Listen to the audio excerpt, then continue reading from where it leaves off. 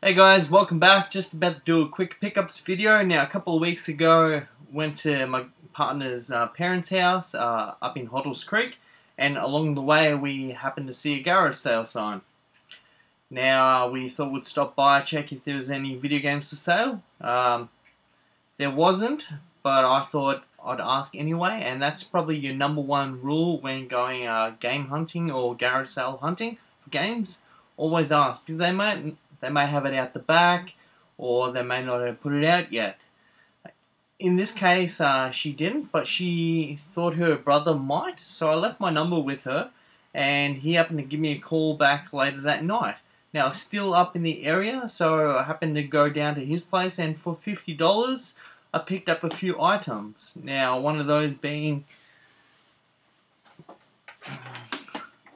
the Atari 2600. Uh, it is the Darth Vader model. So it, the original Atari 2600 had uh, six switches and it had a wood grain finish here at the front.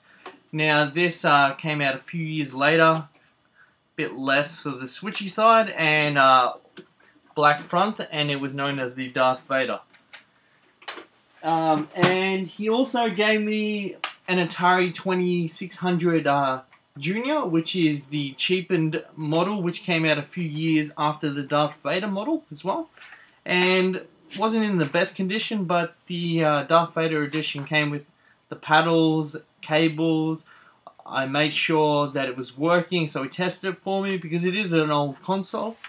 And he gave me a bunch of games as well, which we got uh, Moon Patrol, Asteroids, Outlaw. Uh, we got two missile commands. Not sure why he had two. Uh, we got Donkey Kong. Uh, Defender. Final Legacy. Berserk. Pac-Man. And Space Invaders.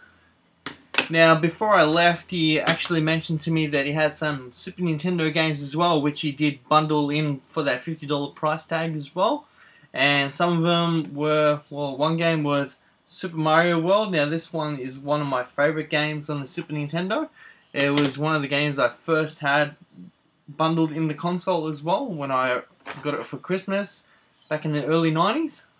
Uh, we got uh, Mario All Stars, which was another bundled game uh, that I actually got at my other parents' house. And uh, we've got uh, Donkey Country 2. Now, the first one was my favorite, but this one was probably better. But I just had such a strong appeal with the first one. I played the first one a lot. But this one, if you haven't played it, I highly recommend Donkey Country 2. Uh, you got uh, Diddy and Dixie instead of Donkey Kong, and you're out to rescue Donkey Kong because he's captured by King K. Rool. Uh, great guitar riffs in it as well when you do beat it uh, each level, and I highly recommend that game as well.